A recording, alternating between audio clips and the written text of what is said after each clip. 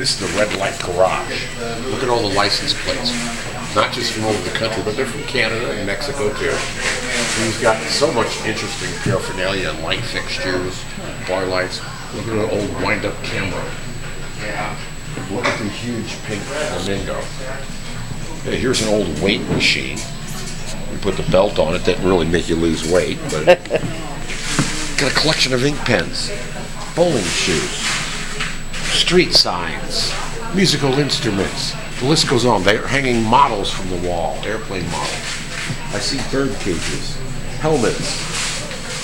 Look at this. You put a helmet, uh, a fur coat on this bust figure.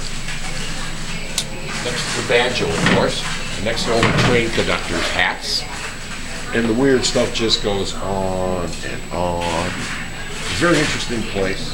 Good food and uh, good huckleberry ice cream too. We're having breakfast here today. If you come to Wallace, Idaho, stop at the Red Light Garage for meal.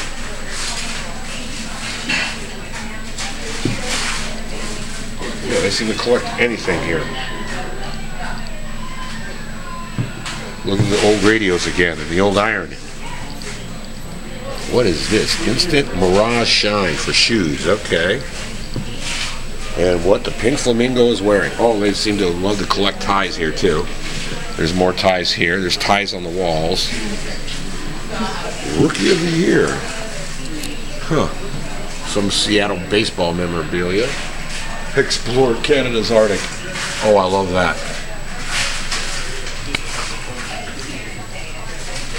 Even a collection of golf balls. Weird shoes. Well, here's here's wooden Dutch shoes. Hey, Linus.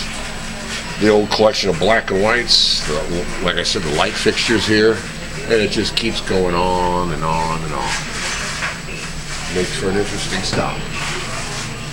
Until next time, that's it from Wallace, Idaho.